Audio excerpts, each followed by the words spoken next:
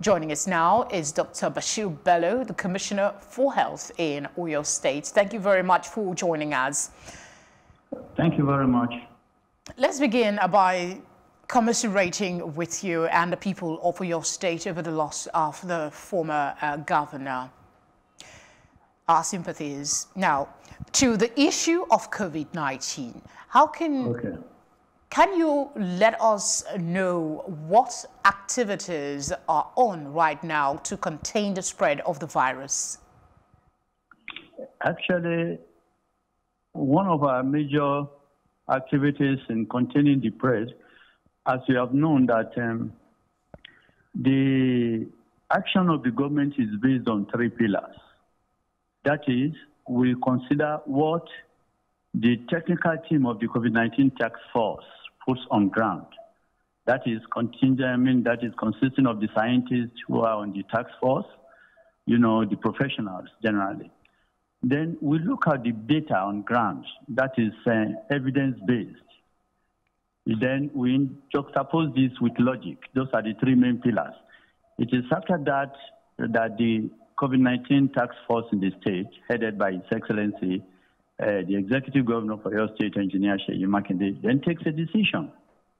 So meanwhile, you will have known that um, we are planning to get the schools resumed. That is, after a week now. The teachers will be there to put things in position.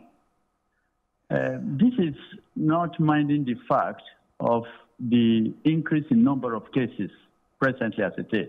But wouldn't that have But- necessitated um, a restriction on, on I mean, a, a rescinding of the decision to go ahead and open schools when you're having increasing number of cases? Um, you see, it is the level of preparation that actually informed those. It is the fact that we have gone into community testing. The more you test, the more you get, which is to be able to um, brief up the level of awareness of the people. Because as you have known, even with all the noise we are making, with all the information, with all the media, um, most people don't actually believe that uh, something like COVID 19 exists. However, despite the records we're having, that is due to community testing, are you getting me? If you look at uh, uh, the management capacity, we're having a death rate of nine out of over um, 900 and something, something uh, confirmed cases that we are following up. And that is 0.7 uh, point something percent. Okay, Are you wh- getting my while statistics, while statistics are important, um, understandably, if you ask teachers, we can say, okay, these are adults. They might be able to, you know, adhere as much as possible to the laid down guidelines and protocols to ensure safety for resuming. But when children are sent back to school, these children, how are we going to compel them to maintain social distance? What are the plans? Thank you very much. You're talking of the children getting back to school.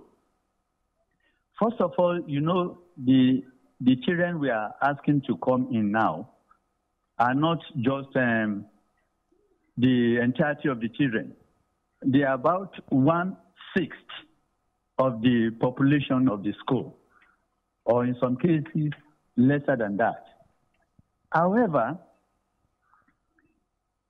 apart from the primary school children, which are their final years, which I special attention will be given, you will realize that um, those who are in um, um, GS3 and those who probably are moving to the school certificate level, that is those in SS3, are matured enough because safe distances will be observed. Parents have been advised to ensure that the children come out with masks. The question is that the way we are looking at this COVID 19, we don't, let, don't want it to entrap the futurity of these children. But come to look at it, these same children that are not in school, are they in any place separated from the, from the, from the society in its entirety?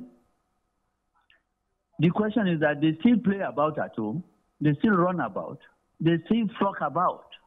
All right. Um, that is what we have observed. Doctor, uh, I'm afraid yeah. we don't have much time anymore, so I'll have to uh, thank you very much for the uh, explanation you've been able to give us. We hope to get you back on the news soon enough, and good luck with thank, uh, thank all that's much. going on. Thank you very much. Yeah.